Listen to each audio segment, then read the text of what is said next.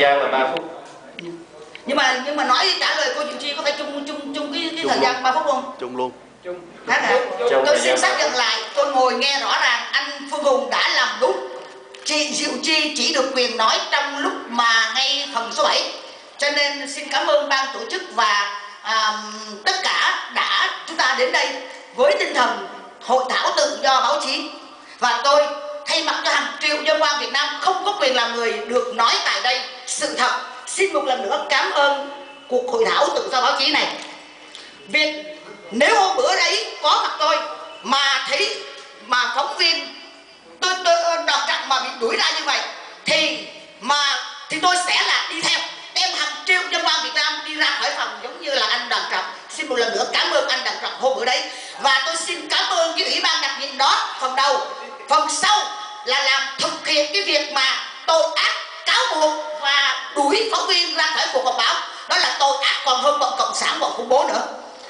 Và chúng ta chúng ta nhiều cuộc họp báo đã bịt mồm bịt miệng ngay tại đây.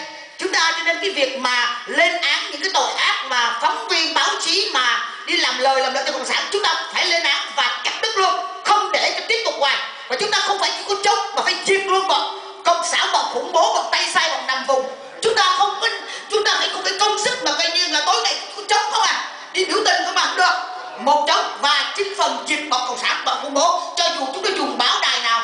Và xin thưa hàng triệu dân quan Việt Nam có mặt ở đâu là chỗ đó tiếp sức diệt cộng sản khủng bố. Vậy thôi và chúng ta không nên là cứ lọt cái ổ phục kích của cộng sản hoài. Là chúng ta phe ta chống cộng mà chỉ lo chống nhau. Và chúng ta diệt lẫn nhau như thế là tội ác. À, xin một lần nữa cảm ơn và tôi sẽ quay trở lại có nhiều việc để cần nói.